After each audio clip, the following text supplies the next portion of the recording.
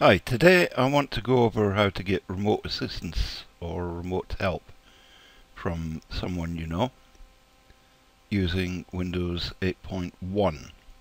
Now I'm just going to choose the search function from the main menu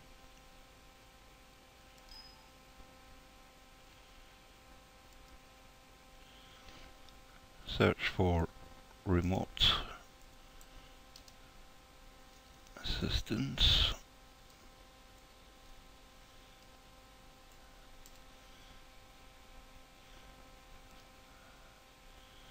And you can see it brings up a few bits and pieces here.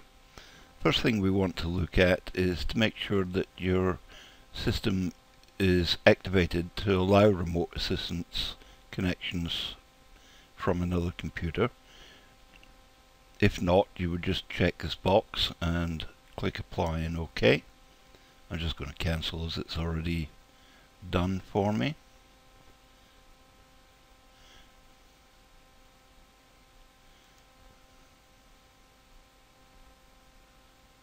Go back to the search results and invite someone to connect to your PC and help you.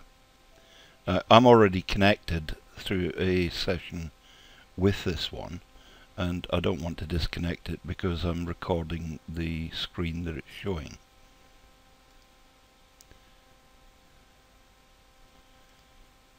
In effect what you do is to save an invitation file to the desktop and then copy the password and paste it into an email send it to the person that's helping you and attach the invitation file to that email